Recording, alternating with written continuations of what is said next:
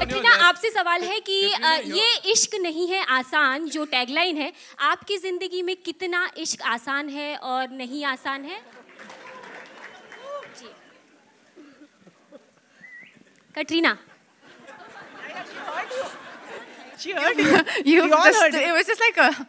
Hit me for a moment. Um, i think that never a truer line has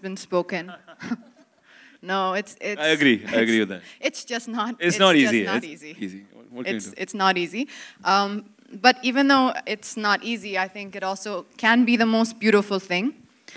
Um, and that's, I guess, that's why so many movies are made on love because it is so complex. It's so hard to understand. We, we don't understand it. So I think um, it's a very, very apt line that our director has, has chosen.